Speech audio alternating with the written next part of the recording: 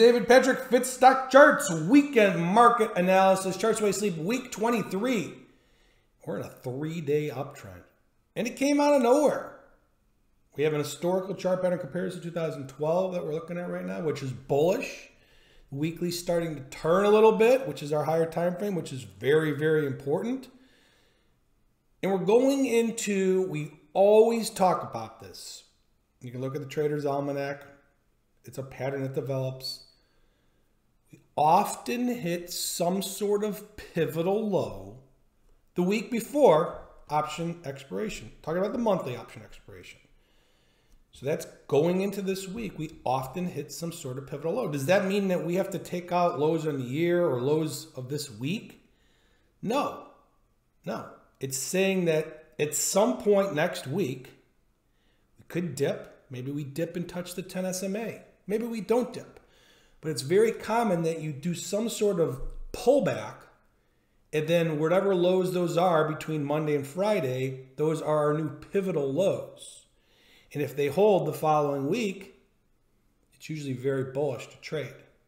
Now, if they break, which I believe they they broke once this year, uh, that's when we headed lower.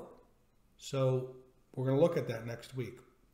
Um, our numbers. A couple things I want to talk about. Um, this is week 23 for Charts Way Sleep, by the way. So we're getting near the halfway point of the year. And I take a lot of pride in what I do on running the service. I try to provide education and guidance for every type of trader, whether you're super aggressive, you're conservative, you're moderate, and trading stock, options, futures, whatever it is. I'm here to try to give guidance based on technicals. I always say we don't trade event risk. We do trade like a robot. We have to keep emotions out of the market. So remember, when I do have an opinion on anything, it's based solely on technicals. Sometimes that opinion doesn't work out because obviously technicals are about trading price pattern, and that's not 100%. If we look at our numbers, before we uh, continue on this, if we look at our numbers, we know we're not betting 100%. We're betting absurdly over 90% of the year, which is absolutely insane. 90% of all the trades this year that have come off of our daily focus list are winning trades. 216 trades engaged, zero no scales, 20 losers, and 196 winning trades. Some of them are up 200 plus percent. So, in reference to um, a Twitter comment of one of the subscribers, they mentioned, um, well, you'd said that this this uptrend you expected to be sloppy, so I'm not that aggressive. I want to make a couple things real crystal clear. Number one, never make excuses in trading, ever. Because you know what? You can always have an excuse. Always. Okay? You have to trade like a robot. Now, whether I thought our 44 day uptrend this year was going to, I never thought we were going in a 44 day uptrend. Never in a million years did I think we were going in a 44 day uptrend to start the year. But it didn't matter what I thought. It's all about your actions. You know you are trade. I I train you to trade like a robot. And that includes myself. It didn't matter that I thought there's no way we would go on a 44 day uptrend. You saw me. I was aggressively long. And the higher we went, a lot of times the more long exposure I had. So, you know, getting back to those comments um, about someone saying, oh, well, you said this was going to be a sloppy uptrend, so I'm either not in or not aggressive. First of all, once again, number one, don't, don't, don't, don't make excuses. You have to treat all uptrends the same as far as you need to be long. Now, whether you're 100% long, 150% long, or 50% long is going to go according to your risk profile. Whether you're 50% long, 100% long, or 150% long is also gonna, gonna go by are all the stars aligned? And we've talked about this that this uptrend is different The weekly is still slightly bearish. We're sandwiched between moving average. Those are facts, which would indicate we are due for a sloppy uptrend. So far, I'm doing this video before the market opens on Friday because I'm going to be out of the office. So far, it hasn't been sloppy. It's been straight up. I get that. But the probabilities are still that it's going to be sloppy. It's it doesn't matter though. You have to belong. And that's what you have to remember. I'm here to coach. Sometimes I'm very firm with you guys as subscribers because I want you to do the right things. I've said over and over and over again. I've done everything wrong early in my career. I know what works and what doesn't work. Emotions, opinions, excuses, those don't work. So train your brain to be a robot. You know when to be aggressive in uptrends, and you know to be, when to be very aggressive. And that's when all the stars are aligned, which we talked about on our last uh, few uptrends. So let's go over uh, 90% club, then we'll go over the current market conditions and look at this uptrend. First of all, we have 31 triples year to date, 115 doublers, 1,058 doublers since we launched the service, and a bunch of put positions or shorts that engaged on that last downtrend, which I think was an 18-day NASDAQ downtrend. I have not updated this. There might actually be some more. I have not. I've been so swamped with time with uh, with running the service, I haven't been able to update some things, but those numbers are insane. Um, all right, let's look at this. I'm going to write this down because I'll forget higher time frame. Got to look at that. Okay, so we have the ES on the left, S&P on the right. This is our current ES chart. So far, a V bottom, not sloppy so far. And going back to 2012, you get you see this little V bottom right here. Let's see here. Yeah, that, that was, it got a little bit sloppy, touched the 10 SMA, came up here, and we hit the 61.8 fib. Well, this is why I thought that we would be sloppy and contained. Number one, that 50 SMA, by the way, this is a current ES as of uh, 8.15 Friday morning. Yeah, that's going to, it should be resistance. It should be significant resistance. This, let's call it 2870, 72, 28, 72, 73, whatever.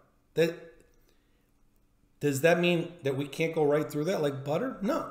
It just means the the odds are you're going to pause there, reverse back down, and start testing, or what a lot of traders call back and fill. You go back and you fill maybe either gaps or some of this area in the chart that's a little bit weaker. It needs to be built up. That's called back and filling. So that would make the most sense that we come up to this level and back and fill, especially since we're going into the week before OPEX. Does that have to happen? We all know it doesn't. It's just the probabilities are suggesting once we get there, we're going to see some back and filling. Okay, so this historical chart pattern comparison, we got the 61.8. Uh, you actually did blow through the 50 for one day, trapped people, and then came back down. And this ends up being a bullish scenario but sloppy. But this is the historical chart pattern we're looking at. Will we diverge and will we go straight back up to new highs and then some? There's always that possibility. Can we reverse and break new lows? Absolutely. We're just going according to, like we always do, historical chart pattern comparisons or specific price patterns. And right now, this price pattern is a bull flag above a downtrend line, which is our number one trade.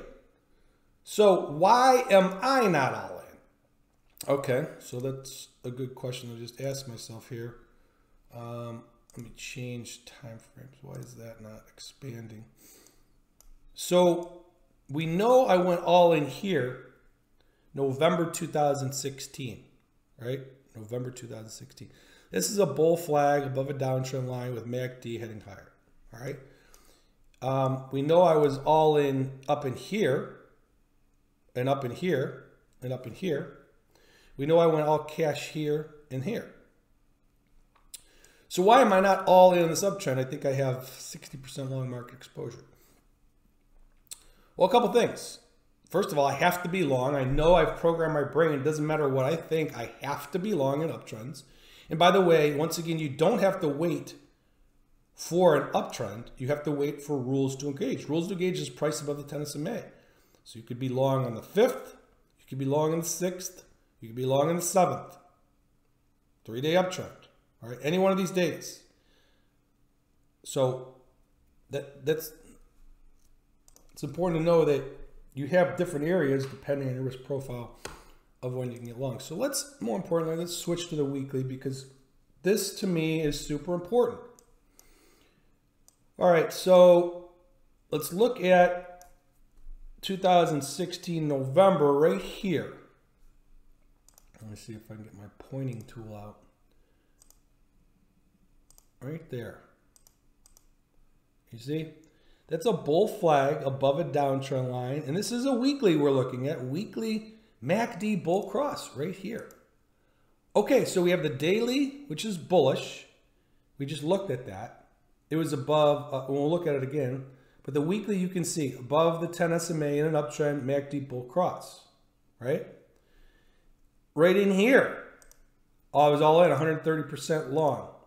MACD, bull cross. Okay? Cash right here. Why? Broken uptrend line, MACD bear cross.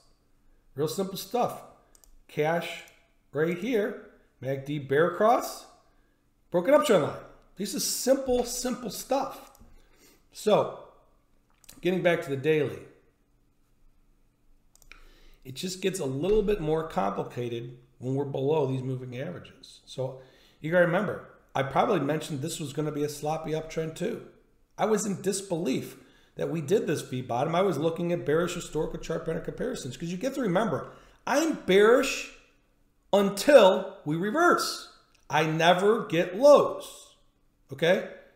So this whole time I am thinking we are going significantly lower. There's no reason price is telling me differently. Right in here, price told me differently. Price told me you need to stop being bearish, stop being stubborn, and get into the trend, which is an uptrend. And I did aggressively. I did. So, right in here, those last uptrends that I just showed you that I was all in and then some, November 2016, and in here we had weekly confirmation. Do we have weekly confirmation of this uptrend? Okay, no, we don't. Does that mean this uptrend can't keep going? We, we all know the market can do whatever it wants to do, but we're below the 10 SMA, so we're technically still in a downtrend on the weekly, and we have bearish MACD on the weekly. So those two higher time frame indicators are telling us on paper, this should be a sloppy uptrend. Once again, so far, as of 8.20 on Friday morning, it is not. It has been straight up. But that's early in an uptrend. That's day three. We don't know where we're going to close. We don't know what's going to happen Monday or Tuesday the week before, or actually Thursday, Friday the week before OPEX. So, all right, I babbled on 13 minutes so far. We got to get into the rest of the market. I want to know everyone, everyone understand how I allocate mine how you should be allocating yours according to your risk profile. And not all uptrends are created equal. And to trade like a robot and get opinions, get excuses, get everything out. All right? Because once again, I don't know where the market's going. All I do is trade the trend. And I certainly didn't know we were going in a 44 day uptrend, but I crushed it. And I'm telling you, I crushed it. I, I was 130% long and I traded Xilinx and Apple with 300 calls, 300 options. I had huge size. For me, that's huge size. Um, so I hit it out of the park. So with that said, let's get right back into the rest of the market here. And we got the NASDAQ. NASDAQ, once again, you're going to now look at, because I'm doing this, I normally do it during the day. You're seeing this before the market opens and I'm out of the office today. Uh, NASDAQ looks pretty good. Yes, it looks contained. It looks like that 50 SMA will contain price. That is the highest probability. Can we do a V bottom and slice right through that? Yes. Oil still looks bad, but it is reversing. Um, oil futures are up a little bit on the day. MACD's slowing down, so it's slowing down the sell-off a little bit. It doesn't mean it's bullish. It just means that the, the sell-off is slowing down. XLEs, that looks like it's due for a short squeeze to come and fill this gap. I don't think I would be taking that sector. It's not leading. Uh, XLF, we talked about this, got right in the middle of the wedge. Maybe it comes back here at 28. It looks pretty decent. Um, IWM, in this trading range. That has not changed what at all, at all. Uh, IYT was in a trading range and now this is more or less looking like a wedge like we saw with a lot of things. The IBB, I believe, which in the breaking out of it, with Netflix, with XLF, a nice megaphone wedge. And yes, it looks like you're probably come right back to the middle of the wedge at 190 for the transports, which would be a good sign. IBB, we were in this wedge here, right? And it broke out of the wedge, I believe. Let's see here. Yeah, we're really below the bottom of the wedge. So that's really not telling us a lot. Doesn't have a lot of momentum. Uh, the, the Dow Jones, I said to me, this 200 SMA was everything. And it still is. As long as we stay above this 200 SMA, this candle right here is low, 25,373. That is going to be huge that we hold that. If we hold that, uh, I think we're going much higher, and I think we eventually grind to new highs of the year according to this price structure. If we break that and close below it, I think you know then it's going to be a trap, and we're going to get obviously much more sloppy. Gold, bull flag. It might be double topping up here. It's very interesting that gold's rallying with the market, um, but don't look too much into it. This is still another bull flag on TLT. Hard to take. MACD's exhausting itself. I don't think this is a great trade. I would continue to stay long bonds. We've talked about how bullish bonds have been for really since the bottoming process. Bull flag, bull flag, bull flag, and TLT's been in the 90% club numerous times over the last 12 months. Let's fly through our stocks. Apple looks good. Bull flag above a downtrend line, MACD bull cross. Yes, you could take Apple long. I don't think it was on the ESFL today. Um, but that, that looks good and looks like you can trade it back to you know the 190s. So nothing wrong with that. That's turning the corner.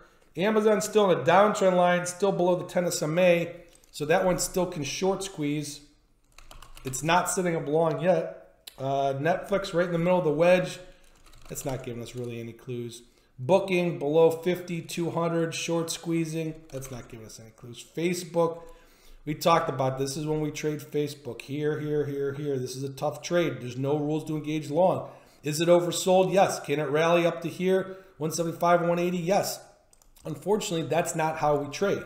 So just be careful. Uh, Google, this one looked very bad. Still looks bad. MACD's at the lows of the year. It's very oversold and it's very sloppy. So, you know, getting back to me saying that this uptrend, by the way, I'm sticking with, is going to be sloppy. There's still a lot of divergences where we're seeing a lot of tech stocks like Google that look horrible. And then there's stocks that don't look so bad, and we'll get to those in a moment. Someone asked me, what do I think of NVIDIA? Well, first of all, NVIDIA, yes, this is a higher low. This That's great. And it's breaking a downtrend line, and it's somewhat bull flag and make bull cross. So yes, absolutely. Do I take this trade? No, 90% of the time I don't. I'm looking for leadership, stocks that are leading and thrusting on the way up, like VEEV or shop yesterday. I mean, that was a home run just in one day. Those are the type of trades I want, stocks that are leading. Is NVIDIA a good swing long? Possibly. It's a lower high. You have your rules of engagement. And more importantly, you have your defined risk. Right there. Right there's your stop. So if you take it, you take it. To me, I take leaders in NVIDIA right now is not a leader. Intel, that's fine. Micron, um, AMD looks to me much better. And I think AMD goes to new highs. If I had to take one stock in that sector, it'd be AMD. Avgo, that looks like a big short squeeze back to 300 or 295. So um, is that a leader? Um, it did hold the 200 SMA. So OLED, that's a short squeeze back to the 50. That's not looking too phenomenal. Uh, here's another setup that we talked about. I think this will be a slow mover grind and I do think it will be sloppy, but it can get back to 113, 114. So it's another one, just like NVIDIA, that you could take long. I'm not taking because it's not a leader. Microsoft looks interesting. I think if Microsoft comes and fills some of these gaps or comes and tests this 10 SMA, I think Microsoft is going to lead back to new highs. That pattern to me looks bullish. And if MACD ever crosses, it's going to be even more bullish. So that would be one I would be interested in maybe later next week uh, especially if the market does retrace at all going into the week before OPEX. Okay, we're 19 minutes in Adobe. I don't think that's telling us a lot. We're going to fly through the rest of these coop. That one looks very good now. That one looks like it wants new highs. Workday, uh, not too much. Jobs, very slow. Splunk, that's bearish, so some divergences. FFIV, you know, similar to NVIDIA and the other one. Um, you're breaking a downtrend line, MACD, bull cross, you have defined risk. Once again, to me, it's not leading. So Snap looks very good. I talked about the Snap. I said Snap's going to new highs. It is going to new highs. It's going to new highs and then some. Snap would be one that I'd be interested in. Roku, our number one trade setup, bull flag here, is paid huge, massive. Congrats if you took it. Uh, I don't know if I updated the 90% club with that one, but those options are up huge. Baba and Baidu and all these China stocks, yeah, they're diverging from this huge short squeeze the market is seeing. And that is concerning. Uh, let's go to some of these other ones I haven't talked about. Cyber, mm, it's not really giving us an edge. Alta, VMW, that looks bad, and that's another stock divergence. So you have VEEV heading straight up VMW heading straight down. And you're going to continue to see this divergences. To me, what does that equal? Sloppy price better. Now, so far, the S&P has not seen any sloppy price better. It's been straight up. So right now, it's like a flight to quality. All these robots, all these hedge funds that are underperforming the market want to load up on the S&P first. And then if the S&P holds up, they'll start bidding stocks up. A lot of times it happens. It's like a flight to quality. They don't want to be wrong. Shop. I took this one long. And I'm probably going to sell some covered calls up here. I've had a huge year. And at this point, I have no problem selling the 3 or 305 or even 310 calls, start generating some income. That one I hit it out of the park with. Uh, and so did you because it was on the ESFL. WB, that one does not look good. SQ looks okay. Dropbox, we're going to start looking at that one. Um, let's go through uh, All right, go through some of these banks. JP Morgan looks like it wants to squeeze back to you know 112, 115. It's going to be slow. Bank of America. I think we talked about USB. I like out of all of them, that one still looks pretty decent. Wells Fargo looks okay. Uh, MasterCard and Visa, they both look like they want much, much higher. They look very, very good. Exchange stocks breaking out, new highs, ICE, CME, CBOE. We've been all over these, all over them. So you got your five stocks that look good. And if you want to call it in the financials, even though some of these are exchange stocks, CYOU, that's not telling us a little lot. Uh, is cannabis doing anything besides melting? Not really. It's just sitting there. What about uh, casinos? They look like they're due for a short squeeze, but I still wouldn't touch them here. Amgen, Guild, uh, REGN, ISRG. ISRG maybe in for a short squeeze. Aluminum. Um, that looks all right. LGN. CMG. That's short squeezing. That one looks like it actually might curl up and come fill this gap and come to new highs. That would not surprise me. It's a nice short squeeze in CMG. IQ. Docu. Pretty flat. Twilio. UBNT. Twilio looks pretty good. Excuse me. So let's talk about, like we always do, Lyft and Uber and then the SPX. I tell you what, this surprises me. I'm long this. I scaled. I've taken most of the risk off the table. Um, but I guess I'm surprised this one has really lagged. The S&P has ripped the last three days. And this had a thrust, and then it's underperforming, and it looks like it's not even bidding up on Friday here.